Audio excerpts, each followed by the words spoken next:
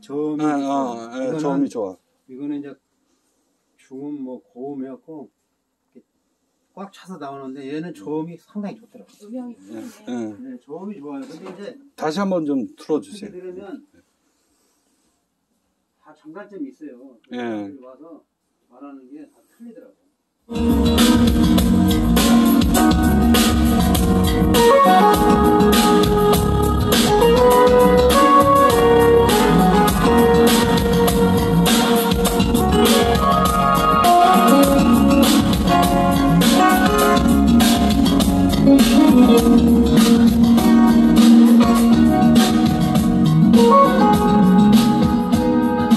난 레벨을 많이 안 올려요. 예. 그뭐 아까 전 아까 전 고기에 한한 40% 정도 되겠네. 3, 40%. 예, 예. 이 소리가 이게, 이게 굉장히 맑아 이게.